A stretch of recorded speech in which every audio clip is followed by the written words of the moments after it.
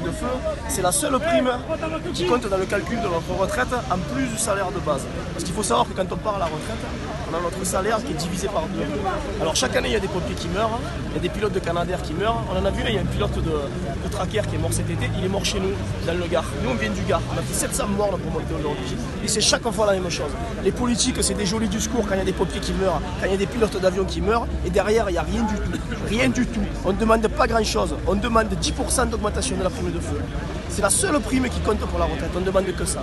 Alors à un moment donné, il faut faire quelque chose. mes collègues Il y en a marre de dire les pompiers, on vous aime bien, on vous adore, et on ne fait jamais rien pour nous, mis à part donner des médailles et mettre des drapeaux bleu, blanc, rouge sur les cercueils.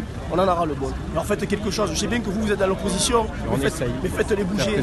Il y en aura le bol. Il y en aura le bol de ce gouvernement qui ne nous écoute pas, qui, qui fait du mal tous les jours à nos collègues CRS. C'est pareil, ils ils sont dans le même cas que nous. Eux, ils n'ont pas le droit de bouger. Ils affaiblissent l'État, de toute façon. Non, mais bien sûr qu'ils affaiblissent. Ils nous affaiblissent. Ils nous Vous affaiblissent. savez, sur un autre domaine, par exemple, moi je m'occupe d'un budget là, sur les inspecteurs qui contrôlent les risques. Il y a moitié moins d'inspections qu'il y a 15 ans. Et après, il ne pas s'étonner qu'il y ait du grisole. Mais bien sûr, Quoi, mais bien tout, sûr. Les, les effets, ils sont là. Bien Et sûr. Vous, vous savez, vous savez, vous savez Mais bien sûr.